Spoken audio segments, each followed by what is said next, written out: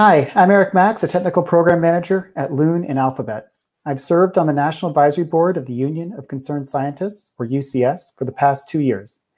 Thank you for joining us today for a talk from the president of UCS on what we can learn from the COVID crisis to tackle the climate crisis. UCS formed 50 years ago after the advent of nuclear weapons to give scientific research a voice in global policy. Their mission is to combine the knowledge and influence of the scientific community with the passion of citizens to build a healthy planet and a safer world, which has brought them now to focus significantly on global warming. Today, I'm pleased to introduce the president of UCS, Ken Kimmell. Prior to joining UCS in May of 2014, Ken was the commissioner of the Massachusetts Department of Environmental Protection and also served as general counsel at the Executive Office of Energy and Environmental Affairs in Governor Deval Patrick's administration. As an attorney, Ken decided to focus on his legal work on environmental issues after checking clerking for the U.S. District Court in San Francisco, where he assisted a judge in a case involving the health effects of Agent Orange. Ken has been quoted widely, including by the New York Times and the Washington Post. I know many in the Google community are looking for ways to help tackle these crises. This month, we've had five of the six largest wildfires in California state history, bringing hazardous air on top of an epidemic of respiratory disease. For COVID, Google has rolled out SOS alerts with internationally vetted science-based information and contact tracing functionality. To help tackle climate change, this past week, Google made a number of announcements, including carbon offsets for its entire legacy of operation as a company, a commitment to have all data centers and facilities consume only carbon-free energy 24-7 by 2030, and a commitment to create products that help 1 billion people make more sustainable choices. Ken and UCS have been at the center of science and policy throughout the COVID epidemic. I'm excited to have him here with us today to share what they've learned and how that can be applied to the decades-long fight to tackle climate change. Ken, over to you. Eric, thank you so much. It's such a pleasure to be with all of you today. Um, and Eric, I just really want to call you out. We have this national advisory board of about 100 people nationwide, and uh, everyone is on that board because they're an Energizer bunny of some way or, or, or, another. But Eric, you're like at the top of the list. You've done so much for us, and I love the way you've connected UCS and Google. So I really appreciate you uh, offering to host me for this and, and helping to, to bring it on. I'm excited to have this chance to talk to you all. Um, I'm going to talk a little bit at the end of the uh, presentation about Google's recent announcement, but I, I would be remiss if I didn't say how excited I was by it and inspired by it. And um, that's really terrific. So I'm going to put some slides up uh, and, and, and get into my presentation. Whoops. Are the slides showing? Uh, hopefully they are. And can can Eric, can you hear me? I hear you. Uh-oh. Eric, can you hear me? Yes. Okay. And were the slides up a moment ago? Yes, they were. Okay, great. Sorry about that. Okay, so um, I turned 60 uh, a few months ago. And, you know, that's always a time when one looks back a little bit. And I've recognized that over this 60 years, there's been periods of time when our country and the world have been in crises of one kind or another. But I have to say, this year is unique um, in that we are literally going through four overlapping crises all at once. We have the COVID public health crisis. We have the climate crisis, which might have been knocked off the front pages by COVID for a little while, except they're right back front and center with the horrific wildfires that all of you have been experiencing out on the West Coast. We have the crisis of racial injustice and inequity, and we have the crisis of an economy that isn't working for so many people. So today I want to talk mostly about the connection between the first two crises, COVID and climate, and ask the question, what can we learn from COVID that we might be able to apply to climate? But you'll see as I talk about that and then think about the implications for political action, um, you can't really even discuss those things without also factoring in the other two crises the one of racial injustice and the economy. So I'm going to try to put all of those together in some fashion as we move uh, from considering the COVID climate connection uh, to the implications. So I, I think there are four really important connections between COVID and climate. Some are obvious, uh, some are not. And I think uh, given the importance of this pandemic, understanding those connections and being uh, fluent in how to talk about them, I think is really important. So the, the first connection, which is perhaps the most obvious one, is that science is literally a matter of life and death. And in this country, we have always revered science. We've always understood it's important. So that isn't new. But I think what is new is we have seen in the most powerful and visceral way that I can think of what happens when science gets sidelined or suppressed. And it's good to remember that when the outbreak first appeared in China, the Chinese government was denying that there was a cause for alarm. Uh, when public health officials raised warnings, they were investigated and punished.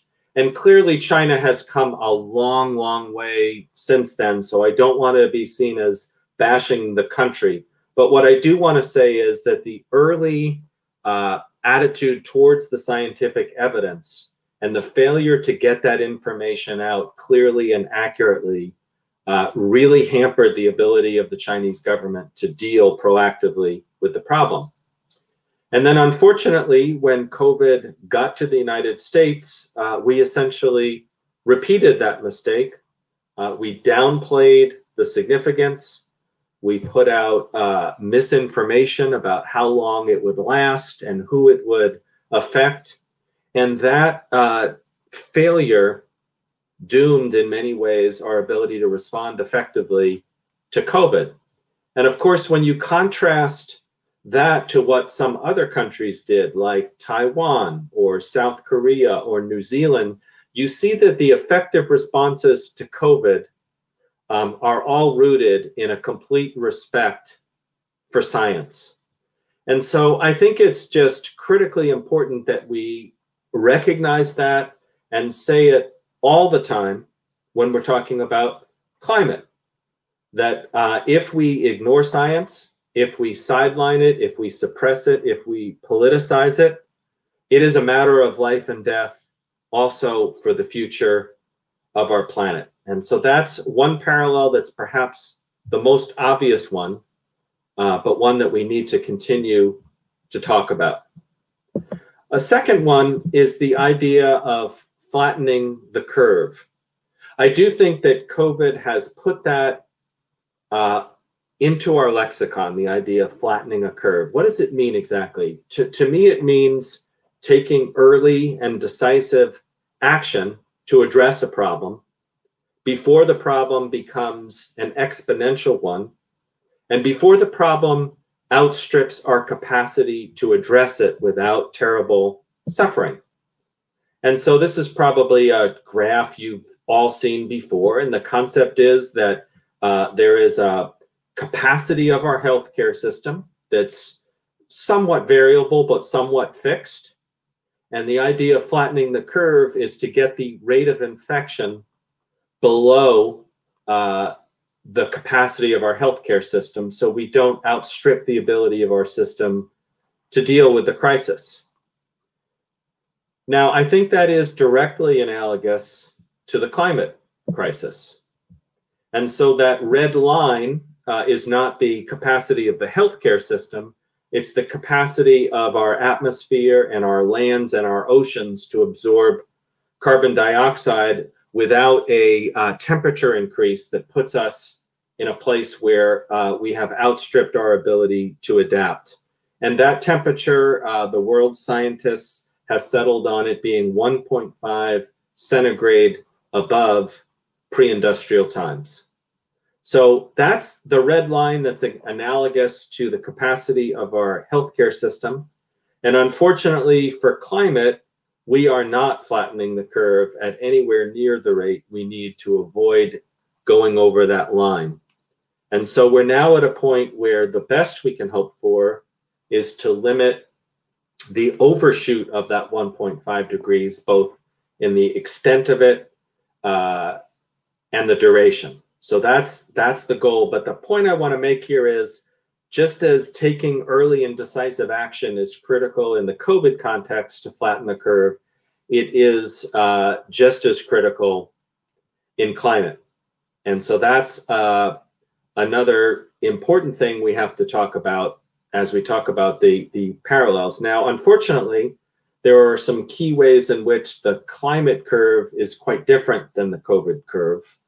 Um, one is that the COVID problem, as serious as it is, is a temporary one. Most people believe that there will be eventually a vaccine or a treatment or some combination thereof, at which point COVID will have caused uh, great suffering, which is sad and regrettable, but it will disappear in the rear view window the way other viruses have disappeared. Of course, with climate, it's completely different. Um, we don't have a vaccine or a treatment. There are people who are looking at things like solar geoengineering and seeding the clouds to keep temperatures down or finding ways to suck carbon out of the atmosphere. But those are fairly far fetched technologies right now, none of which we can count on. And so, unfortunately, uh, the, the, the CO2 is a cumulative problem, not one that's going to disappear with time. Um, the other big difference is the time scale of the curve when COVID hits a particular city, um, two weeks later, you see emergency rooms being uh, swarmed. You see hospital beds being uh, too full. You see doctors scrambling to treat people. There's a very direct uh, tempor uh, temporal connection between the infection and the impacts. Now, with climate, of course, it's on a completely different time scale such that the horrible wildfires in California are caused by carbon pollution that was in the atmosphere for the last hundred years. So it's a much slower relationship between uh, the the impact and and crossing the red line, and so that makes it a very different problem. But I still believe that the idea of flattening the curve and the demonstration of how you save lives and save costs and save people by acting early is a really important one uh, that needs to be uh, repeated and talked about as we as we think about the parallels between these two. Now, the next parallel that I think is important is the idea of government, and in particular, government at scale. And I uh, gave away my age in the beginning um, so I'll do it again. I remember very well when Ronald Reagan was running for president, he said that the scariest thing of all is someone showing up on your doorstep and saying, I'm here from the federal government and I want to help you. So that got a lot of laughs, but it was kind of a short, pithy statement for the reigning intellectual paradigm of the time, which I would call neoliberalism, and the concept that uh, mostly what we should be doing is relying upon private markets to allocate resources. Um, and to the extent that there is a need for government, most of that government uh, should be done at the local and the state level. And that rarely uh, is it a good thing for the national government to be mobilized. Um, so that has been a paradigm that has that has uh, really been the kind of the reigning paradigm for the last 30 or 40 years. And I would argue that COVID has completely blown that paradigm out of the water. Um, what it's shown, first of all, uh, not surprisingly, is the private sector itself um, cannot on its own solve the COVID problem, although, of course, private entities are a critical part of this in finding vaccines, in, in developing supply chains, in uh, treating people who are sick. So the private sector is key, but it's no substitute for government. And I think it also shows that the level of government for a problem of this nature has to be federal. And we've experienced over the last six months well meaning states trying their best to do the best they can for their residents. But it puts them in a position where they're literally competing against each other to purchase PPE or ventilators. Or one state will uh, have a lockdown, but the neighboring state doesn't have a lockdown. And the result is that no state can really go forward effectively without the cooperation of all. And that um, issue is directly analogous to climate policy in the United States. We have, for the last four years, had an absence of federal leadership um, on climate. The result is that states like California and a number of others have taken some really heroic and positive actions to deal with climate.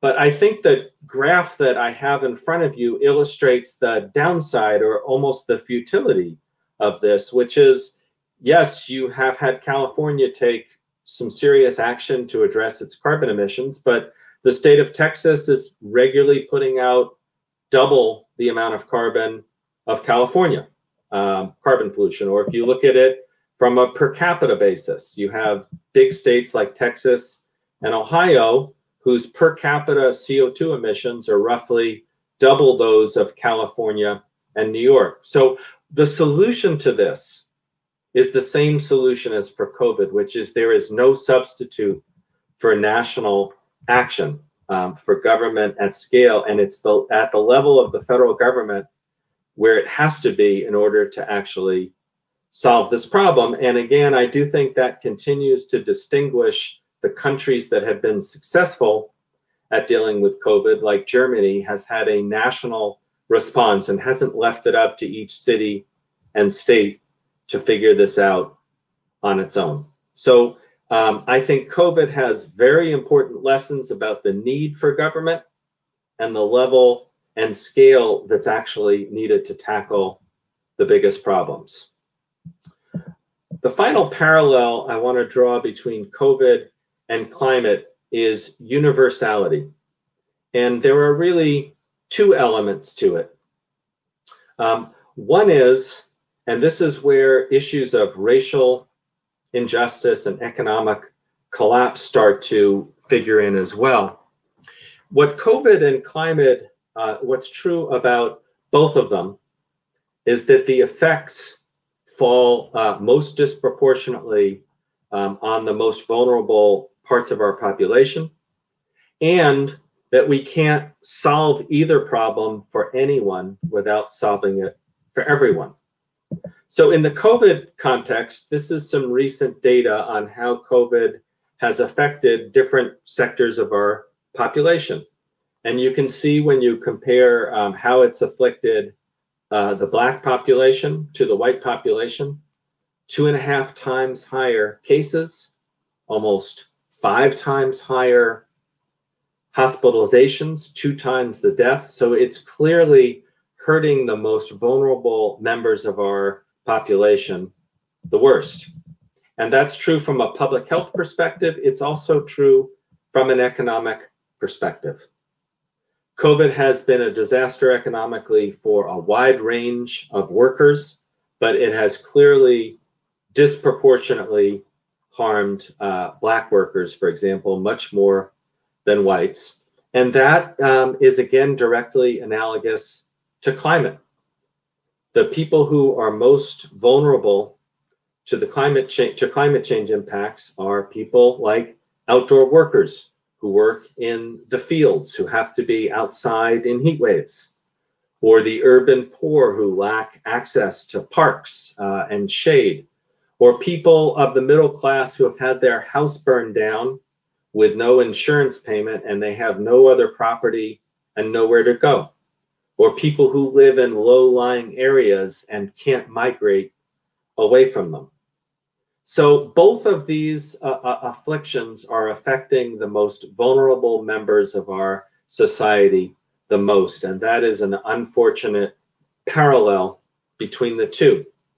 But what's also what's also an important parallel is that the solution needs to be universal in order for it to work. Now, in the COVID context, we would never imagine developing a, a vaccine and only giving that vaccine to the middle class and to affluent people. Not only would that be totally immoral, it also wouldn't work because vaccines by nature, in order for them to work, you have to cover virtually everyone in order to create the herd immunity that's needed to render the disease to, to eliminate it. And that is also directly parallel to the climate solution. So let me give you an example. Um, one of the things we need to do is electrify transportation in order to cut carbon emissions. And we've made some important headway, for example, with electric cars um, that increasingly are great cars with long ranges. They're great to drive. I have one, I love it. But let's be honest, only right now a small percentage of people can actually afford electric cars. Uh, less than half of the population has a garage that they could park electric cars in to charge them. So electrifying transportation um, is not a solution unless we figure out a way to make sure that those vehicles, uh, which would also include school buses and trucks uh, and, and municipal buses, are all electrified and benefit the entire population. So again, the parallel here is just as you can't solve COVID for anyone without solving it for everyone, you have to do the same uh, for climate. And that brings me uh, squarely to uh, a presentation on the implications for 2021 and the, the political strategy. And here I want to say that I have had a bit of a conversion, uh, a, a conversion in my own thinking and my own theory of, of change. I used to very much subscribe to the idea that uh, change in Washington can only be very focused and very incremental, that Congress can really only do one thing at a time, and that if you try to uh, load up the level of ambition of legislation and pack a lot of issues into it, it will fail. And there are unfortunately many examples of that happening. But I think in 2020, we're in a different place. I think we have four crises rather than one crisis that we have to tackle. And I don't think that we will be able to do a climate bill standing alone that doesn't also address public health, that doesn't address racial injustice, that doesn't uh, directly address the economic collapse. And so I have come to believe that actually the, the, the solution that has the best chance of going through is one um, that tries to tackle all of those things. So I'm going to talk a little bit more about what that might look like, but I want to set the stage just by saying, just by identifying a little bit what the challenge is. So this is um, just some data that the red line is our actual United States emissions. Uh, the blue line is the international target. What that is, is the pledge we made as part of the Paris Agreement to get our emissions 26 to 28% below 2005 levels by, uh, by 2025. And you can see the jury's out on whether we're going to get there or not. Uh, I, I happen to think we probably are not going to quite get there. Um, but that doesn't really matter. What really matters is to hit that 1.5 degree target that I talked about earlier. We need to be, as a country, we need to be at net zero by mid-century. That's the that's where we have to to go. And I want to just give you a sense of the scale of ambition that would be needed to get there. Um, so I'm going to do that uh, at a broad level by talking about some principles that many people who have studied decarbonization, deep decarbonization, have come to. And the basic consensus is that to get to net zero by 2050, we will need to have an electric grid that's uh, virtually entirely carbon free. And it will need to be about double, and some people would say triple the size of its current size so that once we've we're running the grid on clean energy, we can then electrify virtually all end uses like transportation, like heating, like industrial processes. So the challenge here is to literally decarbonize the grid and double or triple its size in 30 years. Um, we have never had a mobilization of that kind, um, and the ambition is fairly overwhelming.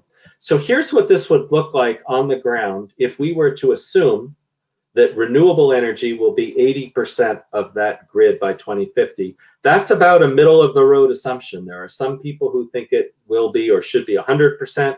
There are some who think it should be 50%. So we'll go with 80%. And this is what I want to show you. Um, to get to a situation where we've doubled the grid and where renewable energy is 80% of the grid by 2050 implies taking some of the best years we've had of building new wind and solar and doing that every year for the next number of years, doubling, tripling, quadrupling it those numbers over the next 30 years. So this is just a, um, a mobilization that we've never been able to pull off before, but it's the mobilization that we're going to need to get there.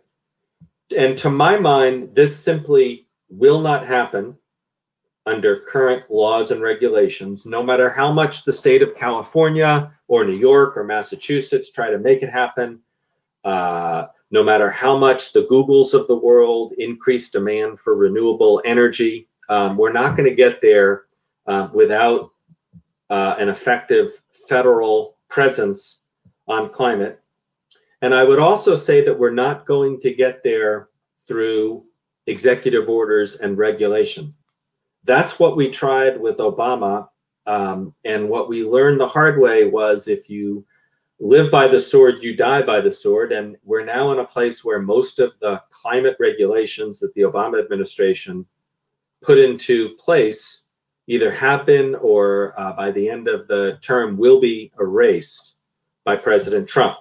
So um, that's a long way of saying that the holy grail here has to be durable, comprehensive climate legislation at the federal level to mobilize the country at the level we need uh, to meet that ramp up. So how do we get there? Um, well, let's assume, first of all, for sake of discussion, that the November election uh, yields a President Biden, a Majority Leader Schumer, and a House Speaker Nancy Pelosi. Um, I realize that is not uh, any guarantee, but let's let's talk about it in those terms. Um, I think the good news is um, we could expect the House of Representatives to pass ambitious climate legislation. Um, there has been a House Select Committee that's been working for the last two years to develop that legislation. They put out a blueprint several months ago, and it is at the scale uh, that we need. So that's the good news. So I think we could see an ambitious climate bill get through the House. The Senate is where uh, it's going to be much harder. Most people feel like the most likely result if the Senate flips is the Democrats will have a one or maybe two seat majority. So there will be um, some Democratic senators from fossil fuel states who will be skittish about uh, climate legislation. There'll be Republican senators who um, will oppose it.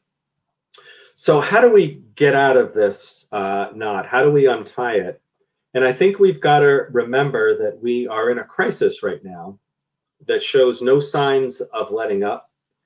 Uh, for many people, the economy is in tatters. They desperately need uh, jobs. They need a livelihood. They need a solution to economic inequality. We need to address the racial injustice problem and the facts that I've shown before about how climate change and COVID is disproportionately harming their populations. And what I think all this leads to is we have got to look at 2021 and 2022 as the years in which we start a, a, a massive mobilization, which is both an economic recovery and a climate justice and a public health solution. Um, and so we've got to get out of this framework where we're talking about making progress on the economy being at odds uh, with the climate. I think it's exactly the opposite. What we've got to say is the transition to clean energy is the linchpin through which we bring the economic, the economy back. So I think that is the synthesis of all of these things that could could make this possible. Now, to do this, we have to do a bunch of things. I think we need some new allies. Um, this is a picture, this is typical in the Great Plains and the Midwest where ranchers and farmers are earning economic value from wind turbines. Um, these folks are natural allies of this transition to clean energy. I don't think we've begun to sufficiently tap in um, to that uh, group of people as a resource. I also think that there is very rapid job growth in solar panels and weatherization. And these are jobs that can't be outsourced, that are available for uh, people who live in cities who don't have gainful employment. So that is going to be part of the strategy. And we have to address this is a picture from Katrina the uh, way in which federal resilience and adaptation dollars are not going right now to the communities that need them the most. But there is a lot of economic growth that can be had by um, creating resilience and adaptation uh, for communities that are the most vulnerable to climate change. Um, and finally, we need a partner with real economic clout and to my mind, the future is going to be a battle between electricity and oil. If oil wins that battle, we're well above 1.5 degrees. We will not have flattened the curve. If electricity wins, we have a shot at it. And so the entire electric utility industry, from the power generators to the uh, utilities to the to all really need to see that their future involves this massive decarbonization um, and expansion of the electric grid. So to me, um, this is the way to be thinking uh, about the political strategy as one that is highly intersectional, that try to solve these problems all at once rather than putting them into their own separate silos and that recognizes that what we've learned from COVID the hard way can be applied to problems like climate change. So I'm going to stop there, but I did want to um, add one final piece, which is I do want to go back and um, applaud Google uh, for its long history, actually, of being a leader on climate. And I was particularly impressed by the announcement last week that Google is going to uh, attempt not only to be carbon neutral on a net annual basis, but to do that, as I read it, uh, every hour of the day, which I think is um, really inspiring. Um, and I, I think it could potentially be a pilot that will demonstrate the solutions that need to be done to really have high levels of intermittent resources like solar and wind into the grid. So I really applaud that um, and I wish it every success. But I'll close by by by mixing that praise with uh, a, a, bit of a challenge to Google as well. And this is the final way that I think there's a parallel to COVID and climate. Um, I was very impressed by Google's uh, sense of civic responsibility when it came to COVID, and in particular, um, the actions it took, as I understand it, to deplatform YouTube videos that seem to be directly issuing misinformation on COVID, on things like the treatment, the prevention, the diagnostic, the transmission of it, um, deplatforming YouTube content that directly contradicted authoritative science. I think that was the right thing to do. Um, I think that is quite analogous to climate, um, where we have uh, the continued presence of climate deniers who are putting forth content that is directly contrary to authoritative sources like the United Nations uh, framework on, on climate change uh, and various other scientists. I know that there is a healthy debate about climate change. There needs to be a healthy debate. Different views uh, need to be heard. There isn't one solution.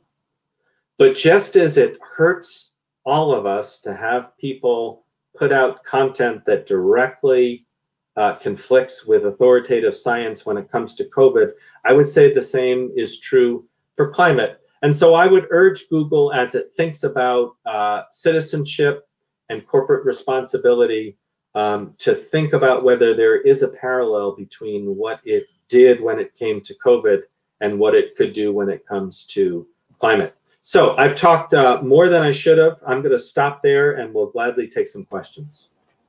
Great. Thank you, Ken. That was uh, uh, incredibly eye-opening. And uh, I want to invite um, everyone who's watching, if you'd like to join in the in the chat uh, to ask Ken some questions, we take some directly from the chat. Um, but before we do that, I I was really struck um, uh, by this initial parallel between COVID and, and climate, both being incredible disasters, but COVID being so much more fast moving. Um, people can see the the human toll, the death toll in front of them uh, every day, especially when we were uh, hitting the top of the curve earlier this year. And I'm wondering, in all of your experience with uh, working on climate change policy, do you see a tangible, immediate disaster being what's necessary to push climate change into the national conversation and to get major legislative action? So, Eric, I hate to say this, but the answer is yes. And I hate to say it because as a human being, I never want to take advantage of suffering. Um, it feels wrong at so many levels. But the unfortunate reality is that because climate change is a slow moving crisis on a very different time scale from COVID, and because there's so many other problems that people have in their lives and we have at the governmental level, Unfortunately, it does seem to me that in order to move on climate, we do need to have rather constant reminders of what the downside is of inaction. And unfortunately, um, we, we are seeing those reminders now all the time. Um, and it is driving public opinion.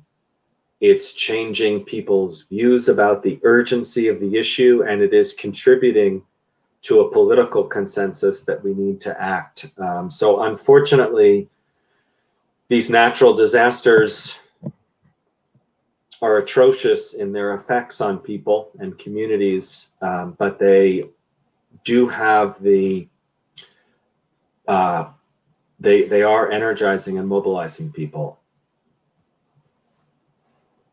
Thank you. Um, uh, and maybe a little less sobering. Um, the uh, I uh, appreciate that you, you your your point about us needing to to tackle climate change with an equity lens, and uh, I'd love to hear a little bit more about the kind of scientific backing for for why that's an advantageous way to go about solving this problem. Yeah, it's a great question. Um, I think the thing about climate change is is that when you talk about impacts, the average impacts it obscures the severity of the uh, the way it impacts certain communities and certain geographic locations. So when we talk about 1.5 centigrade increase, you know, globally that doesn't sound like that much, but that's four or five centigrade increase, you know, in the North Pole. Um, and so we're seeing much greater impacts at the extremes than than at the average. And the same thing is sort of true from a social science perspective as well. Um, I talked about how climate change impacts are harming the most vulnerable people the most. Um, I think that science can play a really important role in highlighting what those impacts are and in getting us away from thinking that the problem to be solved is the average impact. The, the problem to be solved is the extremes. And um, so that's where I think science can do a very good job at documenting the way in which climate change impacts are being felt in different locations in different ways. Great. Um, uh, thank you. Uh, I, think I'll take a couple questions from the audience um, uh, at this point. Um, would uh, I, okay? We've got one here about uh, your. Uh, couple people asking about what you think of the Rewire America plans. A question from Lennon.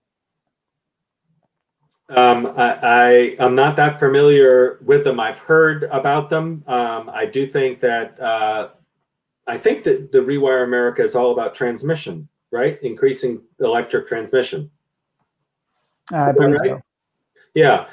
I mean, it's a critical part. You know, I showed that chart of solar and wind. Of course, it's not just about um, building the generation facilities, it's connecting all of those facilities to population load center. So here in New England, where I am, our biggest challenge is laying a great amount of transmission lines in the ocean because offshore wind is our ticket to a decarbonized economy.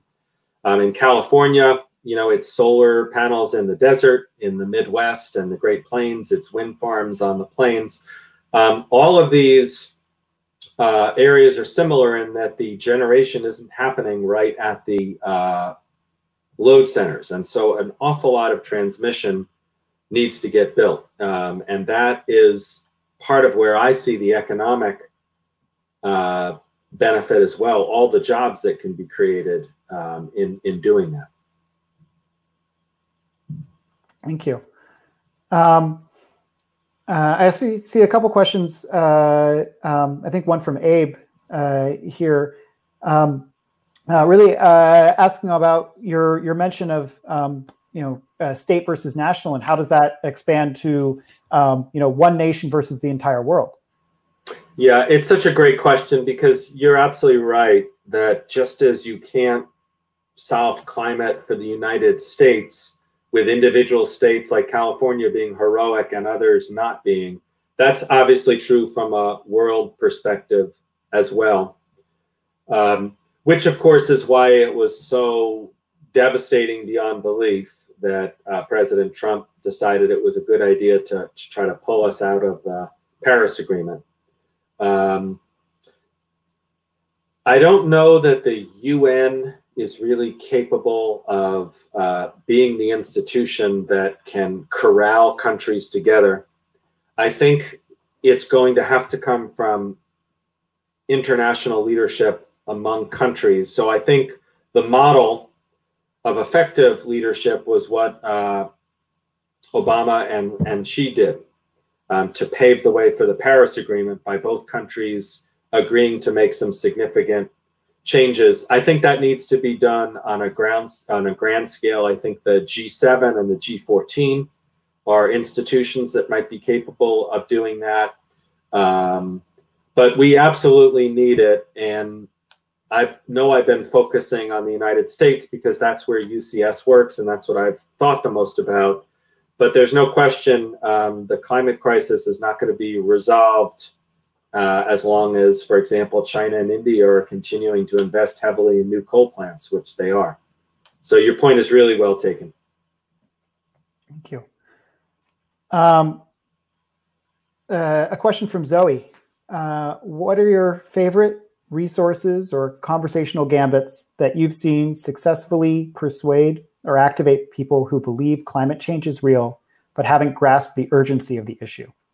Yeah, that's a really good question. I'm going to answer it, but I want to. Here's the question I'm glad you didn't ask me, which I often get, which is what's the best way to convince a climate denier that they're wrong?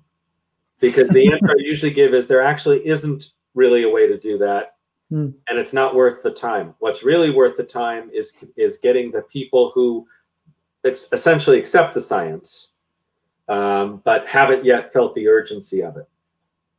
So this is where, uh, unfortunately, as you asked, Eric, all of the various disasters that we're seeing in the form of wildfires and hurricanes and floods and droughts um, are the things that we need to point to over and over again uh, and we need to link climate change in a responsible way to those things, which also, by the way, it means admitting that these things happen without climate change. Um, and it's a mistake to overweigh because you lose credibility. But what is true um, is climate change makes all of these things much more likely to happen and much more severe when they do happen. And having some fluency with why that is, I think, is really important so people can connect the dots. Um, but I also think, and I guess I was doing a, a, a, a tryout of this, is we link it to the COVID flattening of the curve. And we say, just as in COVID, we needed to act really quickly to wear masks and socially distant and do those things, even though they were uncomfortable for us, we saved lives in the long run by doing it. We got to do the same thing here. It has the same level of urgency, even if it doesn't always feel like it does. So those are some of the ways um, that I try to do it. And then the other piece, which I think everyone understands and relates to, is the grave intergenerational injustice of this. And the idea that we, and I mean we, like people my age, have not attended to this problem. And we are leaving behind a world that is going to be degraded for our kids and grandkids. Because most people my age choke up when they think about that and they want to do something about it. So I also talk a lot about the generational injustice of all of this. And that's why I think, for example, people like Greta Thunberg are very, very persuasive spokespeople. Yeah, yes, definitely. Um, and and uh, I guess maybe even taking that uh, more extreme, uh, some uh, Sandeep asked, uh, imagine you're making a pitch to Mitch McConnell in 2021 for drastic climate action. How would you go about convincing him?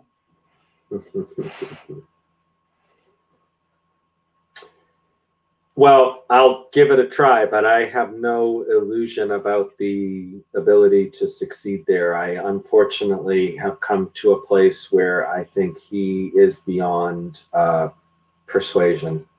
Um, but I guess I would try a couple things. First of all, I'd talk about Kentucky and what has um, what's really happened in Kentucky. And what's really happened is mostly for economic reasons, a little bit for climate reasons. The coal industry is shutting down. Um, and people in Kentucky are out of work. Uh, they don't have high levels of education. They don't have access to health care. Um, and fossil fuels are not going to bring their economy back.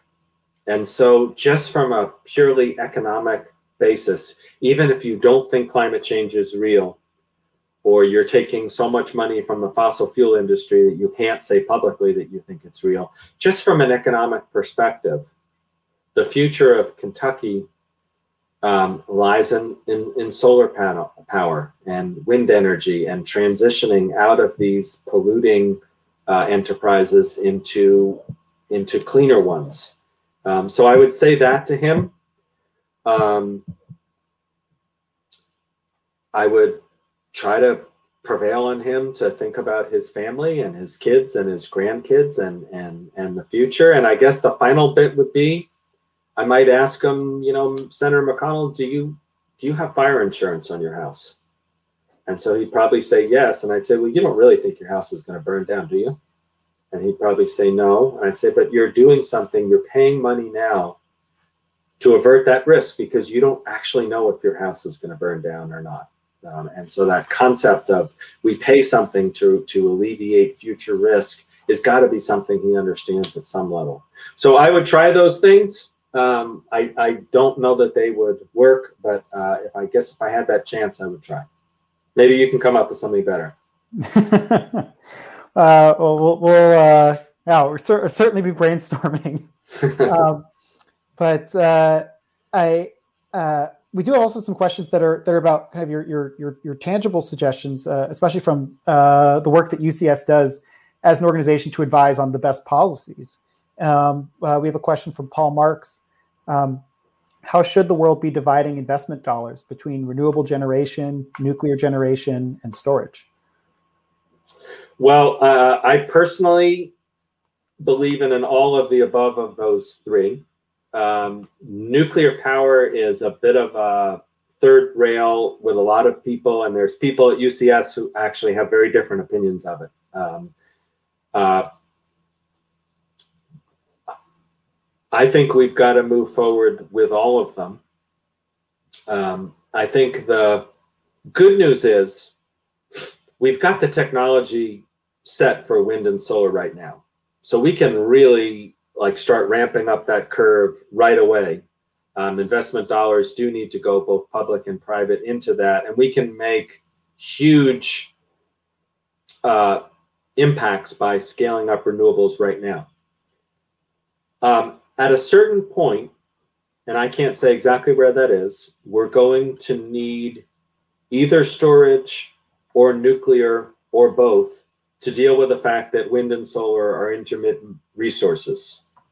Um, so, at a minimum, and we've said this publicly, we feel like it's really important to preserve the existing nuclear capacity as much as we can especially for plants that are being safely run. There are some that just need to be shut down for safety reasons, and that comes first. But for the ones that can be safely run, we have to keep them going.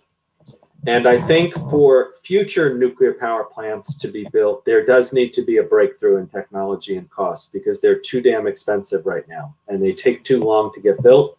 And there's too many unanswered questions about uh, about uh, nuclear waste and whatnot. So I, I am hopeful that just as uh, the battery industry, uh, the wind and solar industry have innovated and gone down the cost curve and created solutions. I think we really need to see that on the nuclear end in order for it to be a big a big part of the solution. I am very open minded to it. I would cheer it on. I hope it happens, um, but yet not we're not there yet. On storage, kind of the same thing. We uh, obviously have largely tackle the issue of energy storage for, for cars. Um, the lithium ion battery works and, and delivers uh, power at the, at, at, at, the scale we need. It's too expensive, so we need to come down.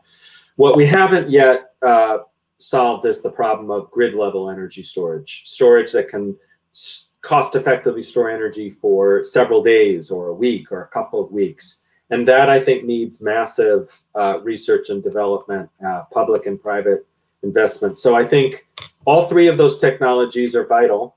Some are really available now, and we should be going gangbusters on scaling those up. Others are going to take a little time, and we need to go gangbusters on investing in the research and development so that we're ready uh, to deploy those in a matter of years. Thank you. Uh, I think we're we're we're just about to um, have to wrap up. I, I really uh, appreciate the uh, presentation and the um, uh, really illuminating answers. I, I do want to um, ask you one final question before we go, which is what are the best actions that uh, people viewing this, uh, whether at Google or outside, can really do to help uh, tackle this crisis? Well, um, first of all, I'd be remiss if I didn't say this. The election's 40 something days away. So vote. Make sure your friends and family vote. I am concerned that absentee ballots are confusing for people. Um, I think that there is a lot of volunteer work that needs to get done to make sure that uh, people have their ballots, they know what to do with them, they know how to fill them out. So I think that there's a lot of opportunities for important volunteer work. It's going to be different than knocking on doors, but probably just as vital. Um, in terms of ways that you can reduce your own carbon footprint, um, getting an energy audit of your house and weatherizing it uh, is, is a big one.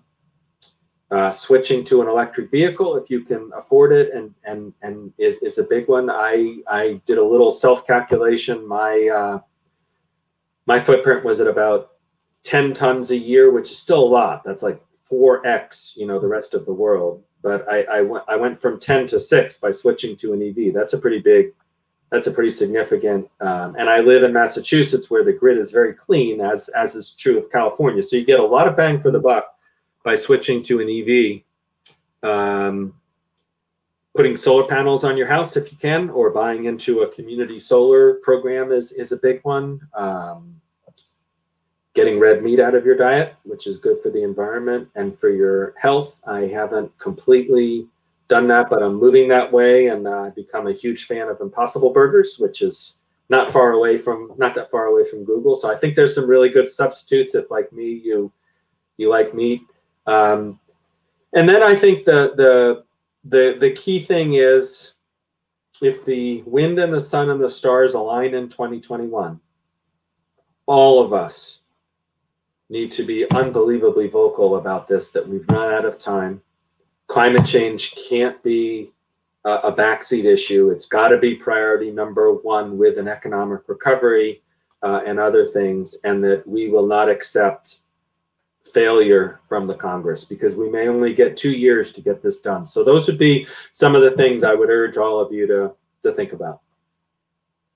Thank you very much, Ken. Um, 2020 has been a uh, a, a huge, a very impactful year. Um, but uh, I I'm really glad to hear that there's a huge opportunity for 2021 to also be uh, impactful, but positively so.